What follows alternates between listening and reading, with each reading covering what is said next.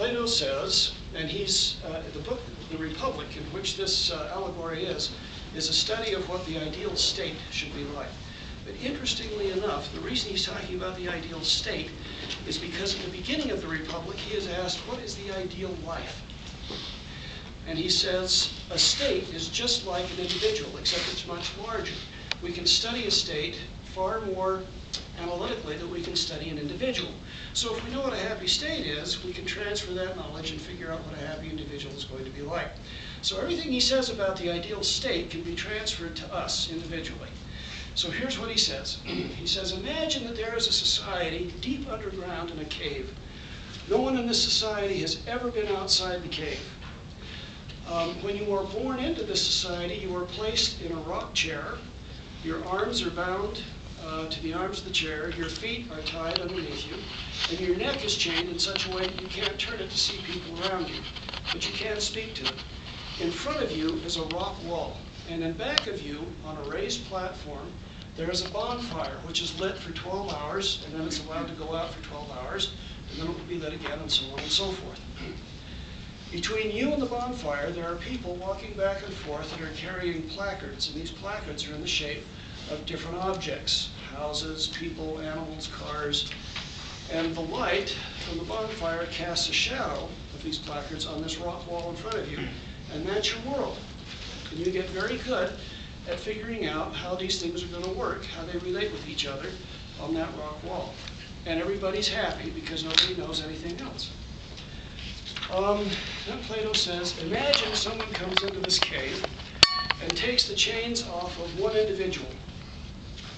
Now, if you're thinking carefully, which is hard to do late on Saturday evening when you're tired, but if you're thinking carefully, you'll understand that if those chains are removed, the person's muscles will have atrophied and it will be impossible for them to move. But let's play along with Plato here for a minute. He says um, it's going to be very difficult for them to move, but at least it will be possible.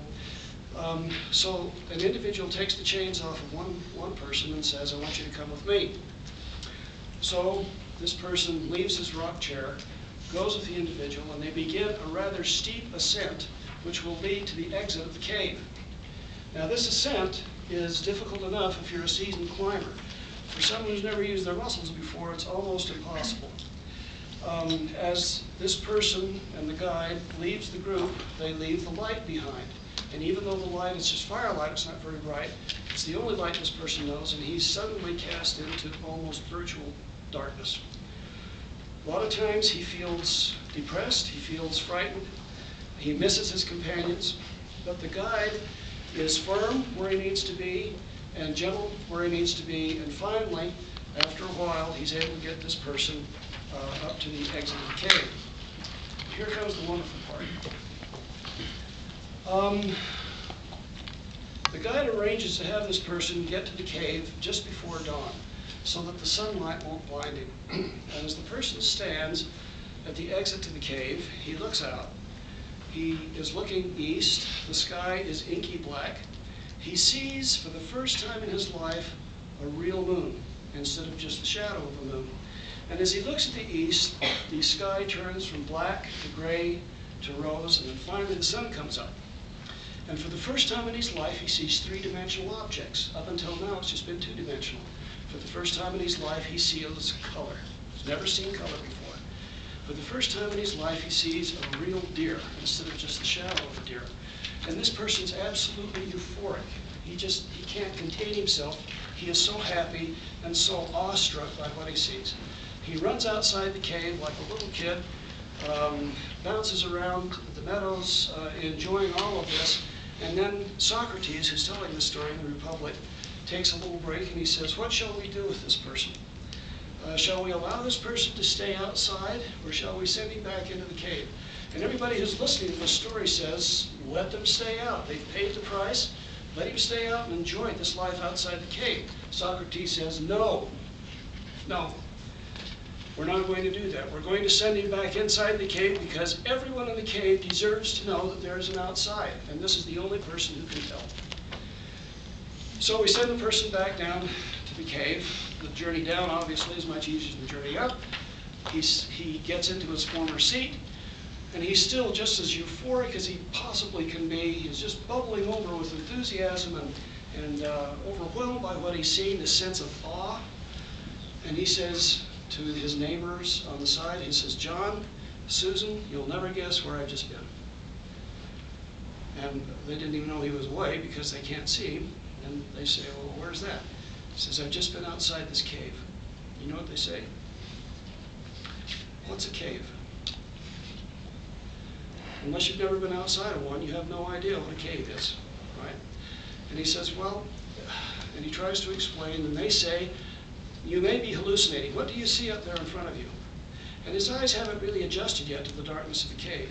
He says, I, I can't really make it out, but it doesn't matter because these are just shadows. I've seen the real thing. I just, I haven't seen the shadow of that dog. I've seen a real dog.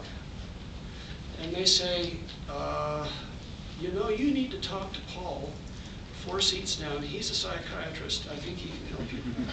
And that's kind of where we leave the story. Education is the process of leaving the cave. And the end, I've been working on this, by the way, for a long time, because I knew I was going to talk to you guys, and I've been nervous, and I've been thinking about it. And I finally come up with this. The end of education is that. It's a sense of awe.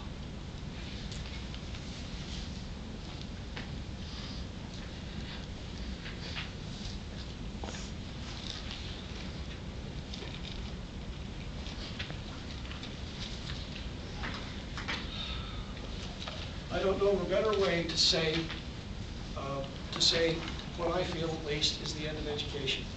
Education doesn't have anything to do with making money.